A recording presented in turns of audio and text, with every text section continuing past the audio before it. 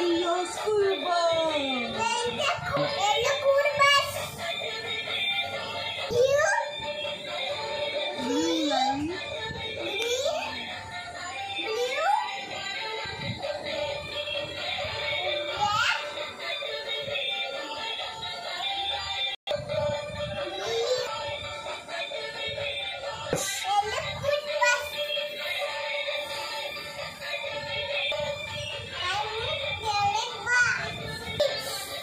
Laxman green